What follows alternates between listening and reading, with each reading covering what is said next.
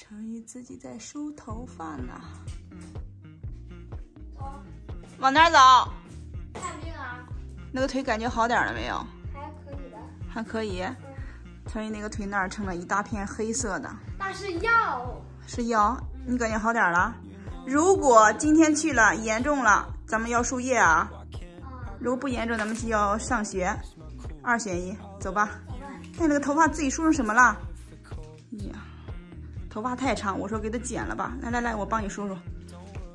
头发又多又长，热。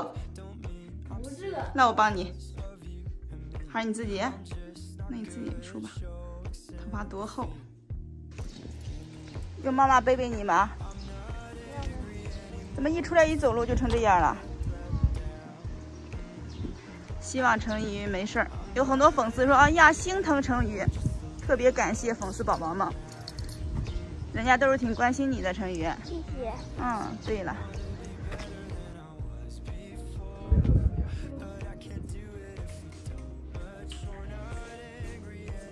是好点没有？还是有个泡。你再给他敷啊，是吧？大夫说我这个好差不多了，下午可以上学了，妈妈。你上学吗？上学。嗯，明天还要来换药。嗯，行，换就换呗。啊，刚才说树叶，人家说不用说树叶。不是输液的事儿。啊，他这个病不是树叶的事儿，那就慢慢让他好吧。嗯，明天来换的时候，我提前在家用那个盐水给你洗一遍。行。好吧。嗯。要用盐水洗呀。盐水就疼不？我不知道，大家说疼不疼呀？特别感谢粉丝宝宝的关心。行吧。走吧，咱去买吃的吧。啊，你想吃什么？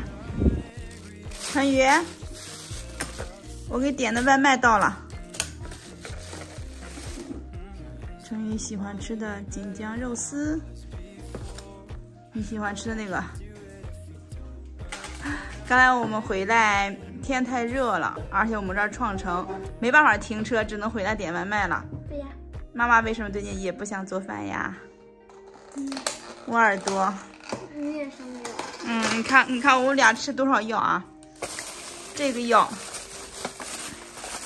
这个药，这个是我的，这一兜全都是我的药。我是上火了，谢谢，这是成宇的药。我们俩最近都生病了，你帮你盛饭，行。我的，谢谢宝贝。哇，我们成宇也生病，我也生病了，我的耳朵现在也好点了，我的腿也好点了。